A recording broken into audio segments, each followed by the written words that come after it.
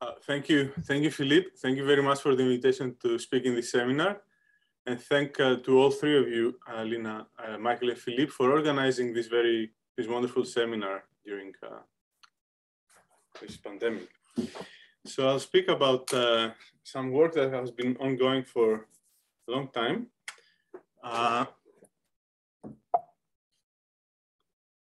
let's see. So here is the very basic setup. So um, we choose an integer n uniformly at random, and then um, we want to see what we can say about its multiplicative structure. And more precisely, we would like to say maybe things about the statistics of its prime factors uh, or about uh, the statistics of its divisors. Okay, so let me, in the beginning, I'll just give a brief uh, history of the, a brief account of the history of the first question, which is very well understood. And then I'll pass to the second question, which is the main topic of this uh, talk. Oh, sorry. Okay, so let me write um, P1 up to Pk of n for the prime factors of n, where k is, we, we write omega n for this function, the number of prime factors. So we know from the time of Hardy-Ramanujan that for, for almost all n, meaning that exceptional set is, uh, has cardinality little of x, omega n is very close to log log of x but a lot more is known, um, starting with work of Landau and then Selberg and Delange. Uh, we know that this, the pointwise distribution of omega n, how frequently omega n takes the value, let's say, k.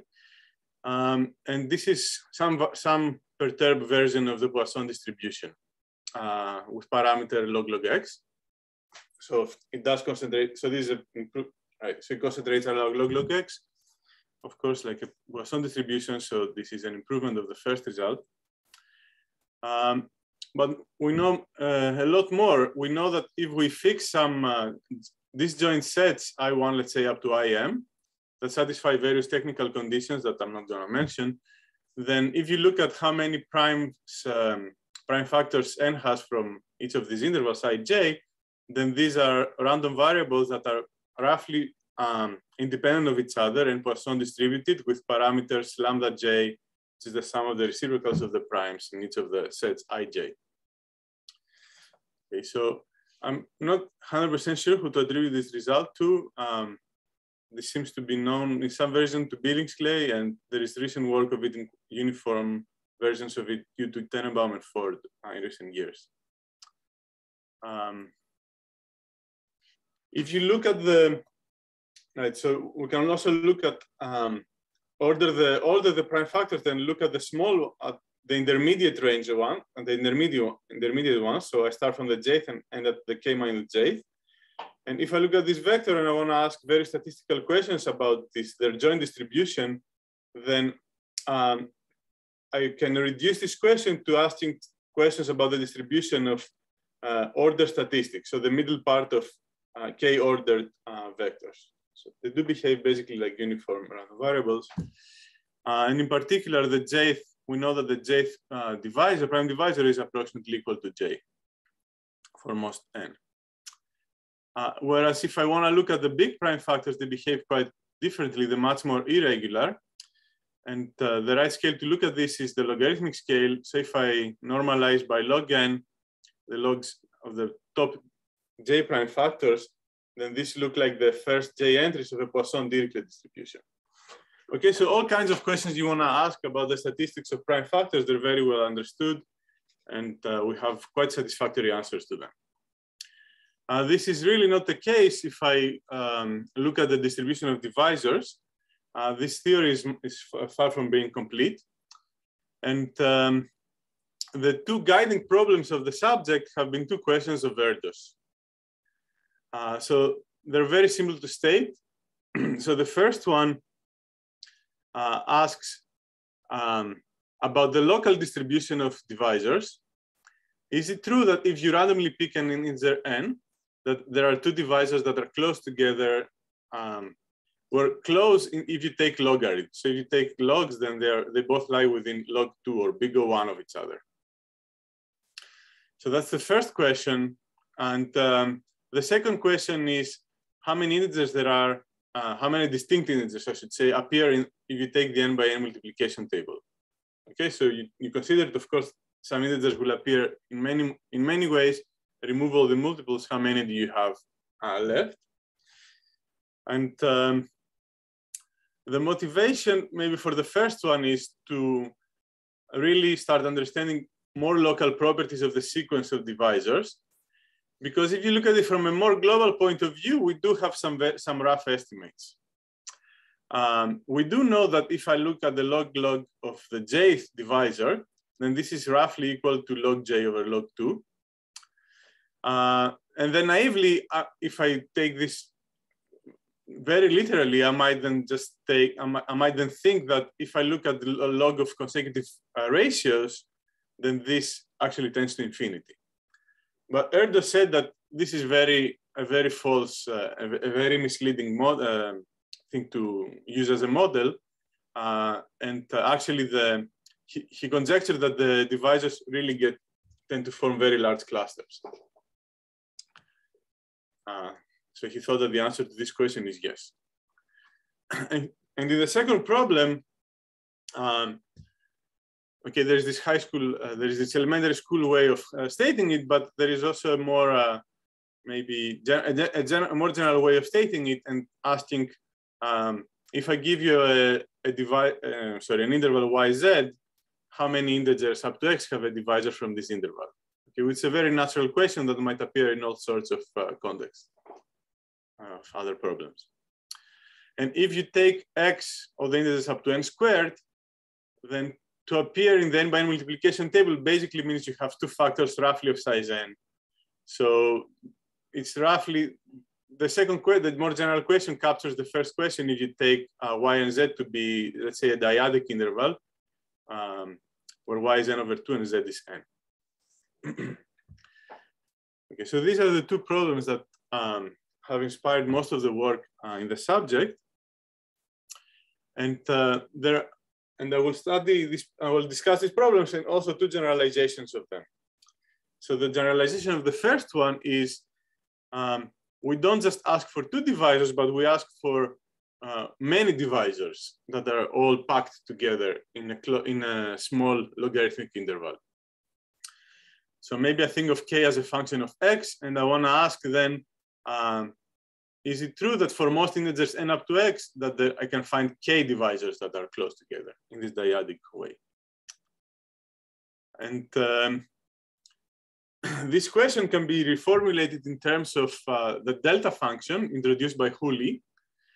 Uh, so the delta function counts the maximal concentration of divisors in a dyadic interval. So you, you, you, count how many divisors you can find between y and 2y, and then you take the maximum over all these. So basically, the, the first problem eight asks how big is delta n.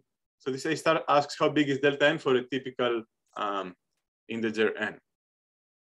It's equivalent.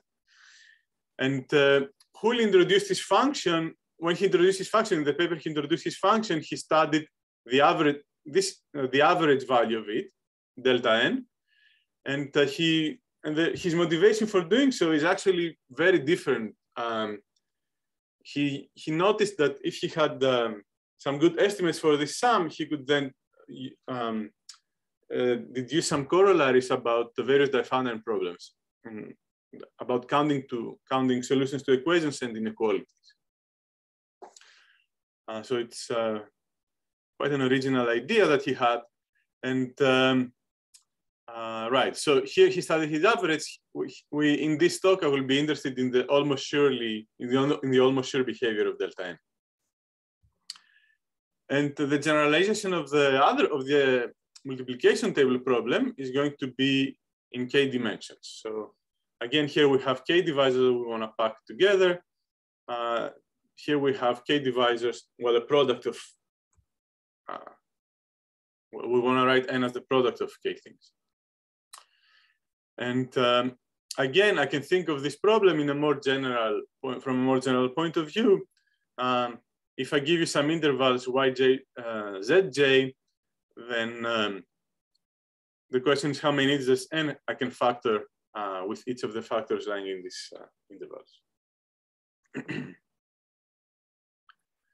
okay, so I'm gonna then first speak about the first problem of Erdos. Okay, so in all these problems, um, uh, there is this very common uh, principle that I hope will come across uh, uh from uh, my talk. So what you do is that, so the right scale to look at all these problems is the logarithmic one. And um, uh, so what we do is that we, so what we want to find in Erdős' problem is we want to find two divisors whose ratio is very close to zero, which is very close to one, sorry. So equi equivalently, its logarit the logarithm of the ratios will be very close to zero.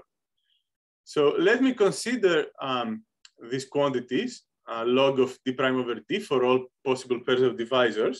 And let me put a box of length of diameter, sorry, radius log 2 around them.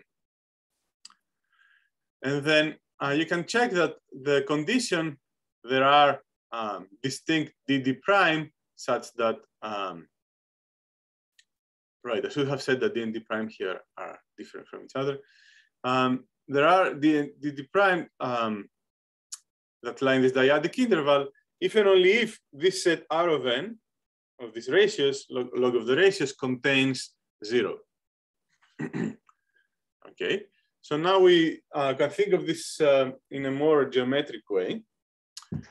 And uh, when I uh, the, the heuristic is that as long as R of n is big enough, um, as long as R of n covers pretty much um, as much as it can cover, then zero will lie in it, or actually any given point will lie in it with high probability. Um, okay, so what are the kind of conditions we have on R of n? So notice that all, of course, all of the points here, d prime over d, are between uh, n and 1 over n. So naturally, R of n um, is contained in the interval minus log 2n and log 2n. So I, I view this as a geometric constraint on uh, how big R of n can be. And there is also a combinatorial constraint on R of n, how big R of n can be. And this just comes from how many um, of these pairs I have, uh, these distinct fractions I have, d prime over d. And the number of distinct fractions that you have is not 4 to the omega n, but 3 to the omega n and uh, because you have to delete common, common prime factors. Okay, so just think of n being square free, then for every prime I have three options. Either I put it in the denominator or in the numerator, or I don't put it anywhere. So you have about three to the omega n uh, possibilities for uh, these intervals. So if I want to cover, so so the so then the, the question is what kind what do I need for um, for my to have enough many intervals um, in order to have a chance to cover all of this interval or a big portion of this interval, well, I would need um, uh, that the combinatorial count is bigger than the geometric count. And uh, here, because omega n is a typical integer and so has about log log n prime factors, 3 to the omega n is about log n to the log 3. And because log 3 is bigger than 1, uh, I have a lot more intervals than I have um, than the measure of the interval I'm trying to, to cover. So unless there is some crazy conspiracy between these intervals, um, I ought to be able to cover really quite well um, this interval minus log 2 and up to log 2n. And um, then there is a side argument to show that if this happens, uh, sorry, this should be this would have been measure of R of n. If this does happen, if the measure of R of n is really as big, then we can locate um, a ratio close to zero because we want the ratio to be at a specific um, close to one should have been here again, or take the logarithm and it's close to zero. Uh, because really we want the, the ratio to be close to, log of the ratio to be close to zero. We want zero to be in R of n. And there is a, method for doing this, which is to use some additional primes to sort of shift your uh, the interval that you have around using some additional primes, big primes here, and sort of go from covering well, covering sort of well, but maybe with some holes, minus log n to log n, to really covering any given point you like. So this is quite technical, so I don't want to really discuss this. Uh, but this is basically in a nutshell the, um, um, argument of Maier and Tenenbaum from 1984. And uh, what Maier and Tenenbaum notice here, uh, they proved they proved Erdős conjecture, and actually they proved a lot more. Uh, so notice here that I have a lot of room between uh, log n to the log three and log n. So, and indeed, Maier and Tenenbaum showed that um, you can even shrink the, the diameters of these uh, intervals here and uh, still get uh, a large measure because you have so many intervals. And the, the conclusion is that for almost all n, there are, there are distinct divisors d, d, d prime whose ratio is basically smaller than one plus uh, log n to this negative power here. So it gets really close to one. and this is the heuristic reason of, this is a very, a very rough explanation of why this ought to be true. So now let me um, switch gears and speak about the other problem of Erdős. Um, uh, I'm sorry, no. Uh, before I speak about the other, I'm, I'm going to speak a little bit about uh, A star, uh, which is the generalization of the problem of Erdős uh, about the Hooley delta function. Um, so this, uh, because this argument has two, has a really a lot of room um, between log n and log n to the log three, there are two directions towards one, towards which one can improve it. One is this one that I mentioned already, which is to get divisors in even shorter intervals. But Maier and Tenenbaum noticed that there is also a different way uh, one can modify this argument uh, by being uh, more clever. And they used it. They used this other way to to prove to prove that uh, there actually you can really cluster lots and lots of divisors in a small interval. Um, okay, so recall this is the notation for R of n. And now let me fix two parameters y and z and consider um, what the portion of my uh, integer n that consists of these primes, um, prime factors between y and z. And let me assume that everything is square free, so I don't really care about squares and things like that. Okay, so now I will just try, I will try to construct uh, two divisors that are close together using this restricted set of prime factors uh, between y and z. And uh, now I have two competing constraints. The first one is again a geometric one, um, that all of the divisors of, um, all of the divisors are of course at most n, y, z. And because this is a, uh, this is a z smooth integer, most of the time it's gonna be z to the big O1. So its log is gonna be bounded by constant times log z. Uh, so this means that this interval, uh, this, sorry, this set R of uh, R of nyz really basically lies between minus constant log z and constant log z for a tip for most n with, with very high probability. So this is a geometric constraint, and the combinatorial constraint is how many distinct intervals I have. And I have three to the number of prime factors of uh, n between y and z. And for a typical integer, um, you expect that the number of prime factors between y and z is, is the double logarithmic length of the interval. So it should be log of log of z over log y.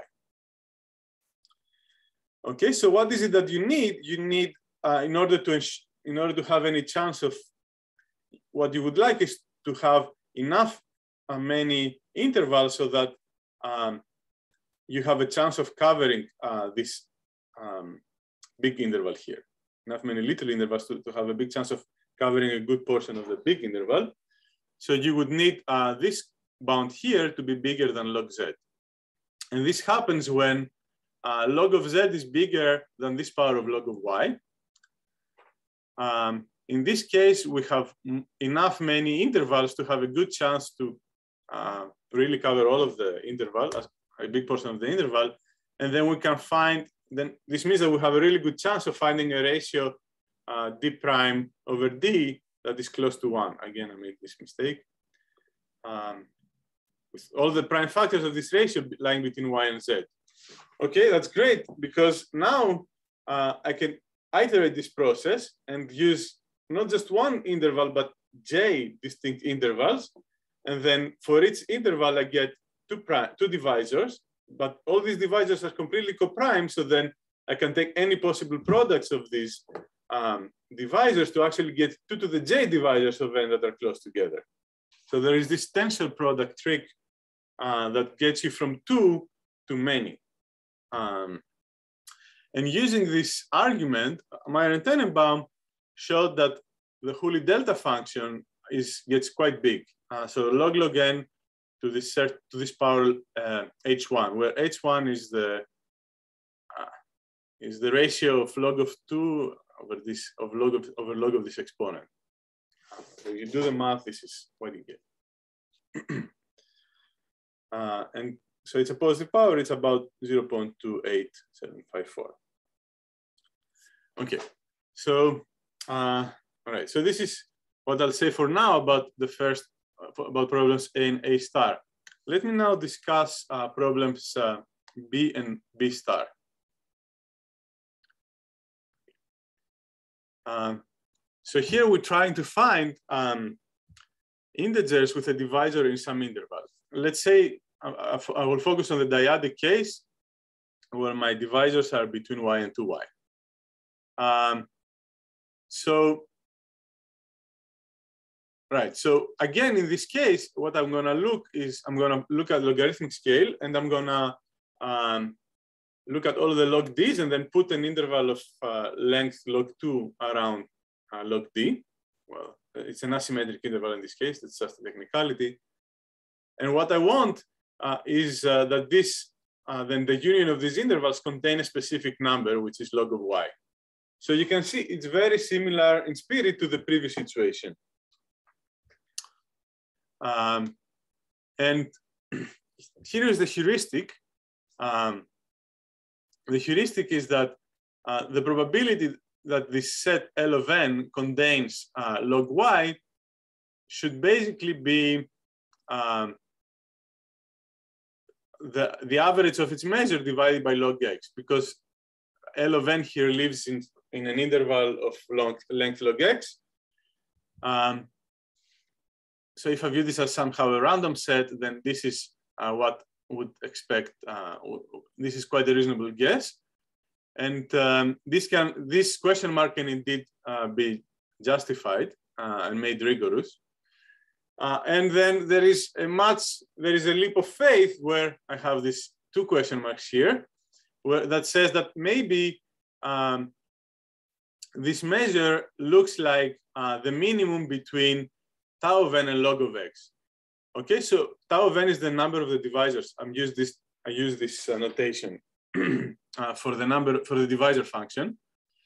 Um, and again, this represents this, this minimum here represents the two type of constraints one has.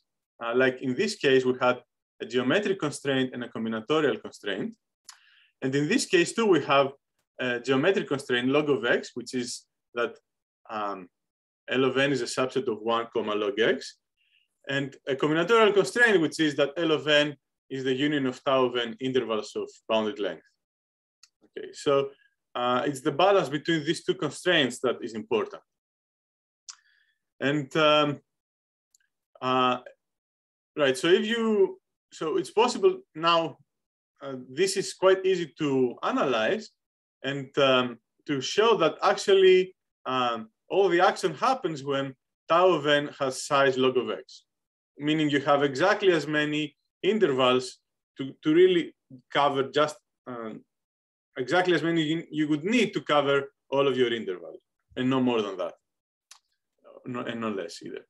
Okay so really the crucial this is this goes back to the work of erdos and then improved by tenenbaum in the 80s uh, that you need to have that the crucial range of n's to look at is when n is has log log x over log 2 plus big O 1 prime factors so that the two constraints balance each other.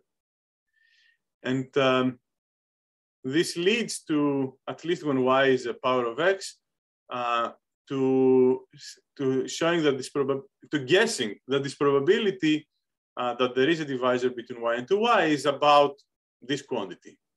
Okay, it is some quantity, it's not so, um, it's just a calculation of this, um, of this right-hand side that can be done uh, quite easily. Okay, and delta is this um, uh, constant that uh, is quite well known.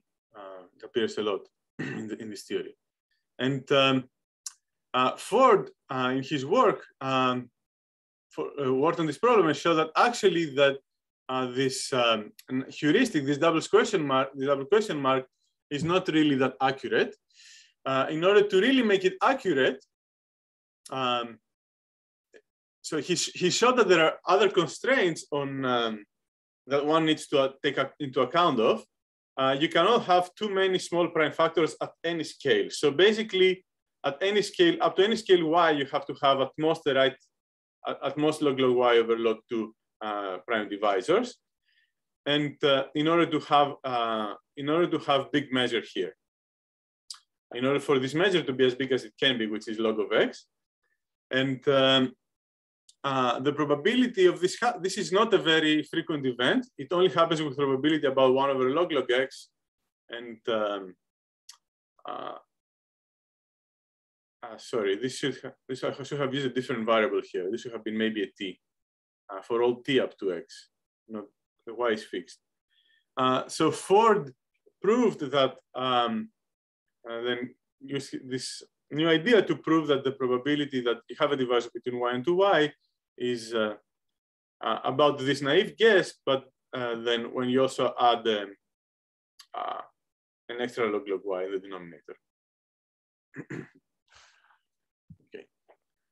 Um, all right, so now let us study now the higher dimensional analog of this problem. Um, okay, so here we want to understand the probability uh, that you have a factorization into k factors. And uh, really, you just need to fix the k minus the size of the k minus one factors and the size of your integer, and then the last one will also be fixed. Uh, so it's this question is basically equivalent to understanding what is the probability that if you pick an n up to x, there is a product of there is a product of k minus one integers that divide it, and each of these k minus one integers is in some dyadic interval. And uh, like in the previous case, I should look, I should, I should, I should come up with an appropriate set. I need to understand this distribution.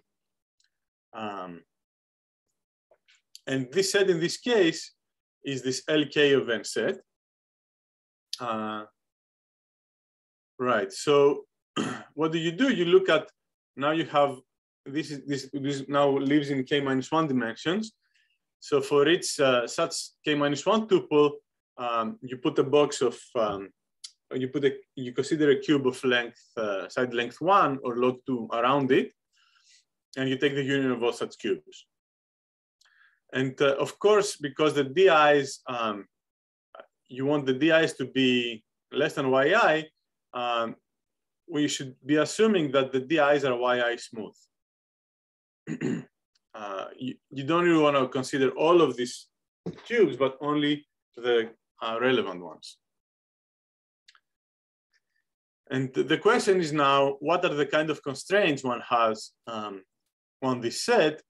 And um, this should give us some sort of heuristic guess of what, how big this probability should be an analogy with the previous uh, setup. So, okay, so let me write omega i for the number of prime factors of n um, between yi minus one and yi, when, where y zero is just one. Okay, so, um, all right, so I have only the prime factors up to yk are important, so I partition them in, into k intervals according to which thresholds they have surpassed or not. Um, and then there are two competing bounds on LK of n. One is the geometric bound, which is just, uh, well, the DIs here are YI smooth, uh, so their logs would, re would really be um, as big as uh, log YI at most. So I just, I take the product of all this because, right, so this dimension is bounded by log y1, the second dimension by log y2, etc. And then I just count, the other competing constraint is a combinatorial constraint that counts how many um, pairs I have. Uh, so how many intervals I have. And uh, this is, it's an easy exercise to, to show that the, the total count of, um, uh, of tuples here is given by this product. Okay, so you get k to the omega 1, then k minus 1 to the omega 2 of n, etc. okay, so, and the heuristic, if I, um, okay, so even though the, the, this argument, this more naive heuristic was not quite correct, it still came really close to the truth, at least as, as far as the correct power of log x is concerned. So let's just ignore powers of log log x for now. And um, then let us use the previous heuristic to guess um, the right answer for uh, this probability. So if I use the previous heuristic, then what I should do, I should then look at um, Right, so I should look when these constraints uh, completely balance each other. So I look at um, uh, all the possible um, choices for the cardinalities omega in, um, such that this product here is basically equal to this product up to a constant. Uh, and then I look how many integers, what is the proportion of integers such that omega i of n is equal to mi. Uh, so the proportion of such integers uh, is roughly given by uh, k minus one independent Poisson distributions that have parameters lambda i, as I explained in the beginning, in the first, in the second slide of the talk. So um, this is the expected proportion of integers with um, such that omega i of n is mi, and then I just uh, take all possible all possible combinations and maximize over all of them. Okay, so this is a, a guess one one might instruct the computer to do something. This is a guess one might make um, on this um, probability using this sort of um, interplay between combinatorial and geometric conditions. Uh, and then understanding this maximum is just a calculus exercise. Uh, it can be done using uh, for example, using Lagrange, Lagrange multipliers, you can, uh, using Stirling's formula, and Lagrange multipliers, you can calculate this maximum. Okay, um, all right. So is this actually true? Well, this, um, so back in 2014, I showed that if k is uh, less than six, uh, up to six, then this heuristic is true. Um, so this actually, uh, it's true in an, in a, in a strong sense, in the sense that one can get the exact order like in Ford, uh, in Ford's theorem, if one considers additional constraints like of this form, which are too complicated to state now, so I'll just skip all of that. Uh, but if k is at least seven, uh, then things change. So uh, in general, um, you do have this kind of naive heuristic being true uh, if all the side lengths are sort of the same. Um, so you have a little bit of room here. You can go, um, you can let the biggest one being uh, log y, log of the smallest one to the one plus epsilon for some epsilon. Uh, but really this is best, pos is in a sense is best possible. And here is a particular case when, it, when um, this heuristic fails. Take k to be seven and take the first five thresholds to be all the same and take the sixth one free and bigger. Uh, then there is some particular constant that we can calculate to arbitrary precision. These are a few of its digits, uh, such that um, if the log of y6 is smaller than log y1 to the c, minus a little bit more, then this naive heuristic is true. But if the sixth dimension is much big, is really much bigger than the other ones, then the, the situation changes. And this really makes sense because um, now you really start considering a multiplication table where all the dimensions are really tiny and there is really one that is much bigger one. And um, right, so one should really, when considering this k-dimensional multiplication table problem, one should think about higher dimensional, sorry, lower dimensional possible constraints that come from these other two configurations that are constraints that are both that are somehow um, a hybrid version of this geometric and combinatorial constraints I mentioned before. so here is an example in when case seven. Uh, right, so let's factor let's factor our integer n into seven prime factors according, right? So this ni is whatever is between yi minus one and yi.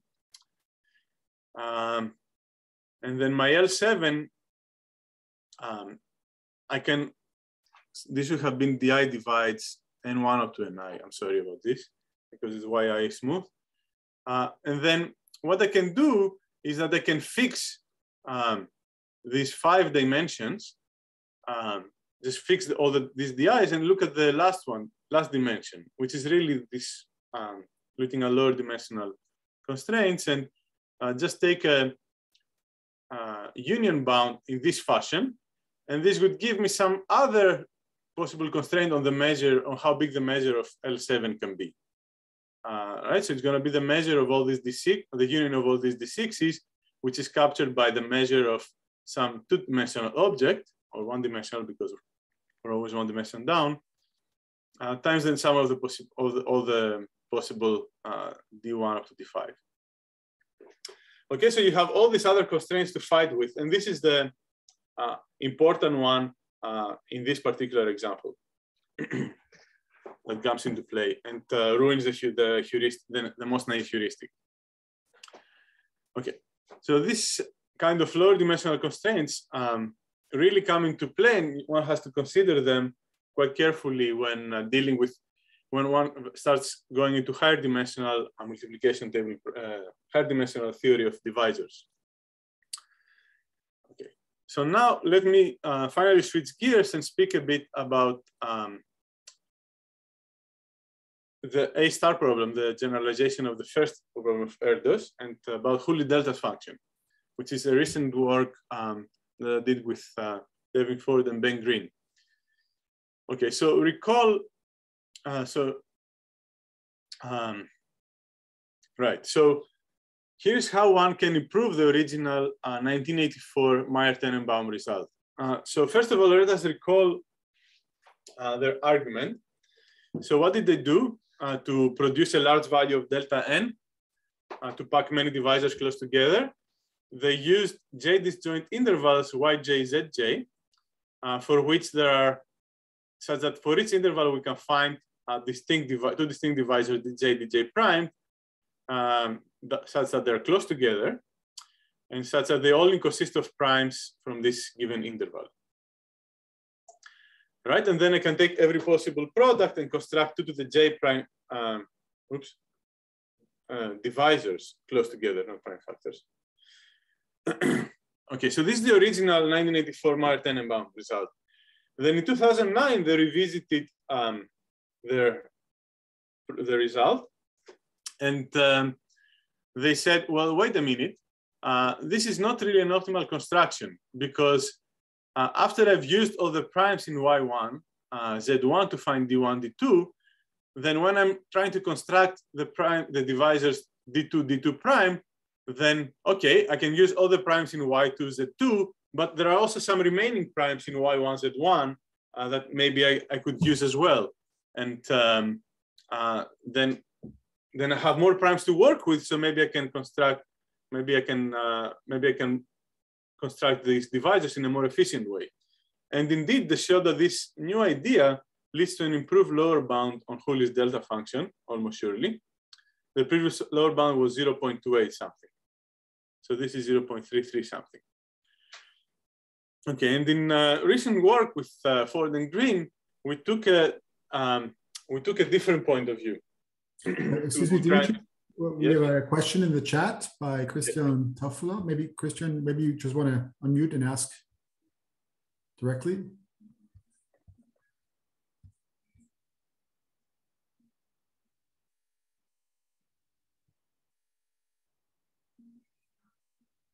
So the question is, why does it break exactly at seven? I think it refers to the previous slide. Uh, yes, so it's because this type of lower dimensional constraints don't are not important uh, before. They don't give um, uh, this kind of upper bound uh, is bigger than log of uh, than the trivial ones, than log of y1 up to log of y6. Uh, sorry, the, uh, the trivial, this is the bound one is comparing to always, like total uh, volume, which is the product of the log yi's, and you have all these other, um, and you optimize, you, you find whatever the optimal uh, situation is, and um, it turns out that these kind of upper bounds are not, not relevant in this case. They give you even bigger, uh, they don't restrict the measure to be less than this product. I see, thank you. Yeah. Okay, so, um, right, so, right, so I explained to you how Maier Tenenbaum in 2009 improved the previous result. And now I'll explain how uh, in recent work we improved um, uh, the 2009 result using a different idea. Okay, so um, instead of just, okay, so this is much closer in spirit, in a sense, to the first uh, proof, uh, to the first argument. Uh, so instead of just um, of finding disjoint intervals that contain two distinct prime uh, factors, uh, sorry, divisors, why not try and find um, uh, j disjoint intervals, yj, zj, such that um, in each one you can find k distinct divisors for some fixed k that is bigger than two. Okay, let's try and play this game. Um, and let's see what it gives. Uh, and uh, what it ended up giving um, is a better lower bound on delta n, uh, which is this H3, which is a little bit bigger than 3.5, 3.3, 2.2, etc., uh, which is a little bit bigger than the previous bound of Maier Tenenbaum. And uh, it does have an explicit um, description, well, a precise definition, not explicit, but that um, but I'm gonna give towards the end, but but it's really complicated, so I'm skipping it for now. All right, so um, let me try and explain um, how. Uh, so the key would be then uh, how can one modify the construction of the Maier Tenenbaum of Maier Tenenbaum to instead of just constructing two divisors that are close together to construct k divisors that are close together. okay, so it turns out this is basically a linear algebra problem uh, merged with some complicated combinatorics. Okay, why is it a linear algebra problem? Uh, all right, so what we want to understand is when there are distinct divisors d1 up to dk, that um, they, they all consist of primes between y and z, prime factors of our typical random integer n um, between y and z. And we want them to all be close together, or if I take logarithms, their logarithms to be close together. So I can view this as a linear condition on the set of log, on the logs of the prime factors of n between y and z. Right, because of course I can factor its di and its prime factors and then, right, so I, the log p of log of p as unknown variables.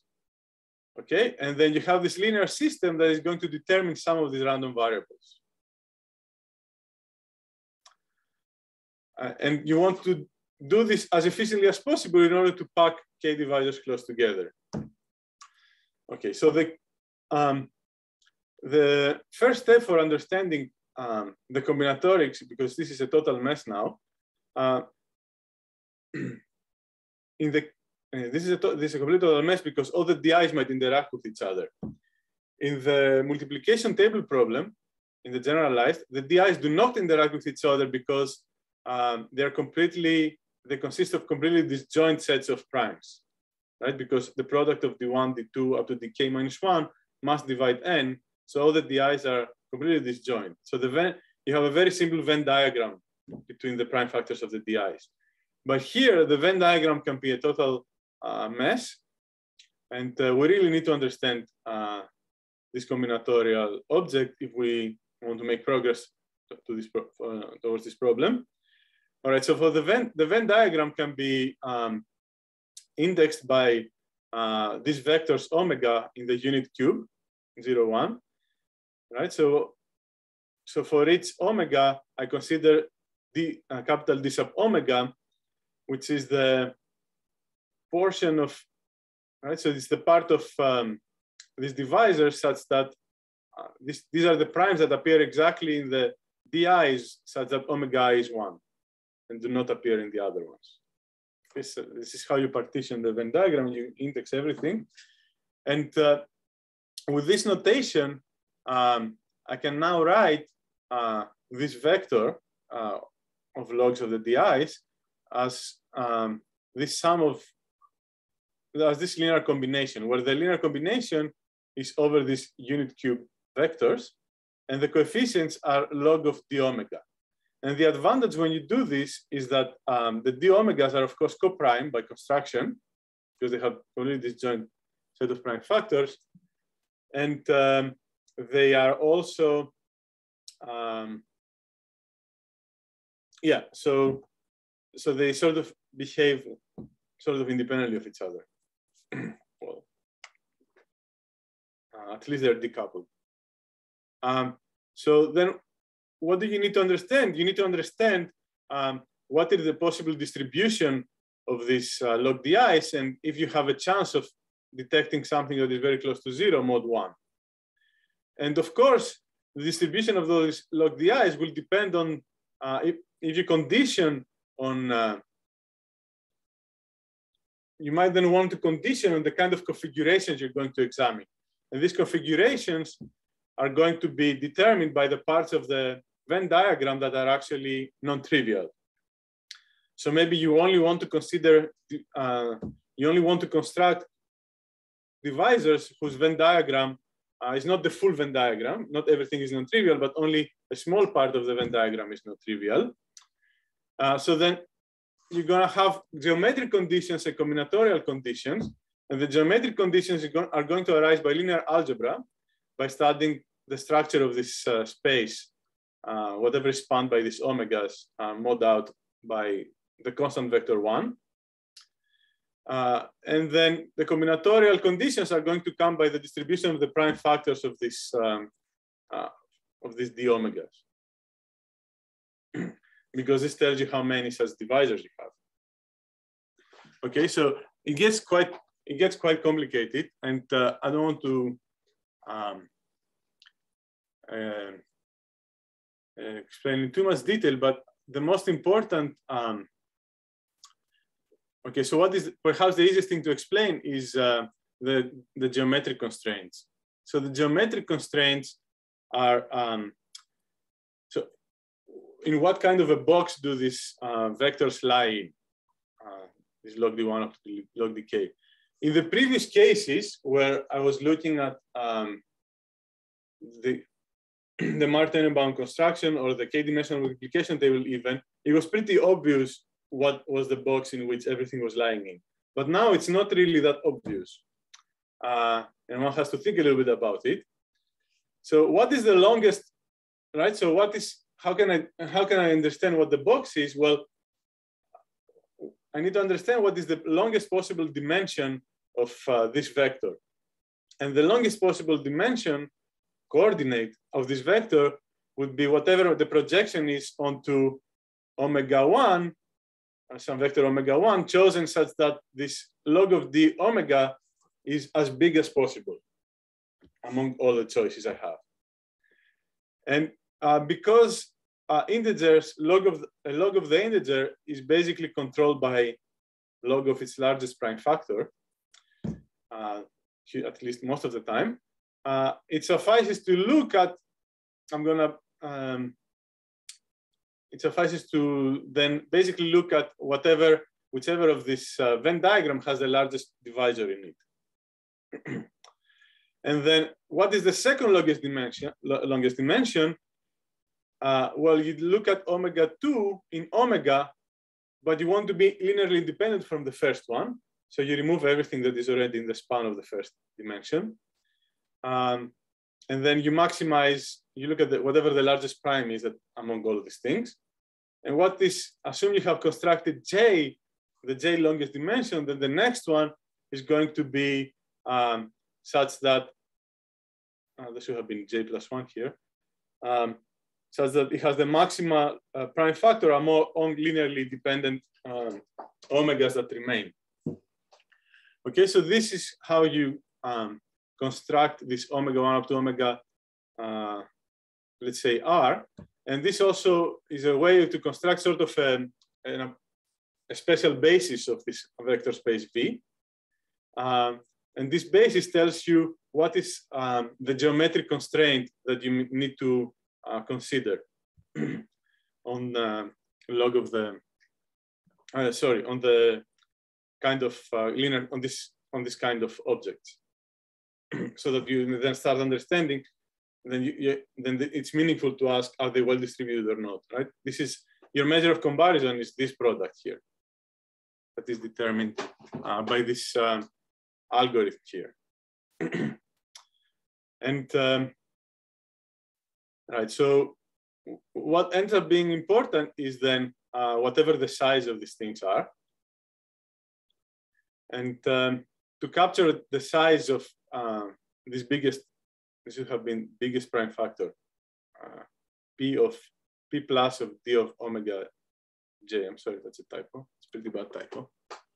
Um, and then you end up having, um, right, so you have this filtration that is uh, of vector spaces that is caused by this process of constructing this basis in this iterative way.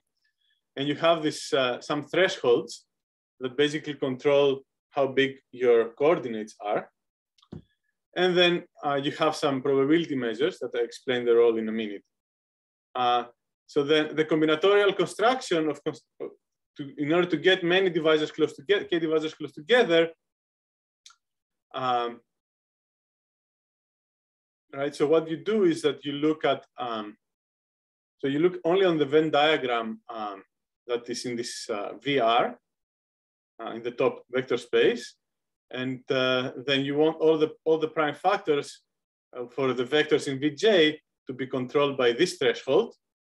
And um, then you, the mu j's control the distribution of the prime divisors of the d omegas for each of the, between each of the thresholds. Okay, so it's really, the notation gets really complicated. Um, but just, this is a rough idea. Um, you have this algorithm that produces these uh, vector spaces, and then you also want to control the combinatorics. And um, right, so given all of this data, there are various kind of constraints, geometric combinatorial constraints one might consider that might that are sort of your enemy of that might suppress um, these vectors to lie in a, in a space of small dimension, um, of small measure. And uh, so these are all these lower dimensional constraints uh, that uh, take up some specific shape. So I'm basically out of time, so I'm gonna skip this. And um, but just to tell you that basically, just like in the k-dimensional K problem, now in a much more complicated way, we have um, all these possible all these possible lower dimensional constraints that we need to consider. Um, and these um, lower dimensional constraints are in terms of this threshold Cj and in terms of um, the entropy uh, of these uh, measures I, I considered. And then what you have to do is to basically solve this, this, this quite complicated combinatorial optimization problem where you need to find the optimal value of C for which uh, such a system, such a choice of data exists. Okay, so, and what we proved is basically that uh, these are, this is equivalent to um, constructing k divisors close together using prime factors between thresholds like this. So you can find such a threshold C to construct prime k divisors close together if and only if a choice of um, vector spaces like this and threshold Cj and probability measures uh, exist that satisfy uh, these constraints. And um, right. Um, yeah. So this is so this is the theorem, and then this is the abstract theorem, and then we needed to uh, exhibit a specific configuration that does better than the Maier-Tenenbaum construction. That can be seen, the Maier-Tenenbaum construction can be seen as a configuration when k is 2 to the r. And uh, we came up with something we call the binary flag uh, that does better. Okay, but uh, I'm out of time. Uh, and now it's getting quite technical and I don't want to rush through all these really technical slides. So uh, thank you for your attention.